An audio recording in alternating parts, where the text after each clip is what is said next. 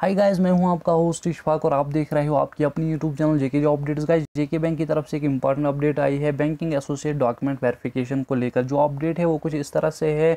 JK bank banking associate vacancies की document verification हो रही है एंड जेके बैंक ने लास्ट डेट एक्सटेंड किया है डॉक्यूमेंट वेरिफिकेशन का। अब जो डॉक्यूमेंट वेरिफिकेशन का लास्ट डेट रहेगा वो रहेगा thirty of July two JK bank ने ये पेंडेमिक की वजह से कोविड की वजह से लास्ट डेट एक्सटेंड किया है।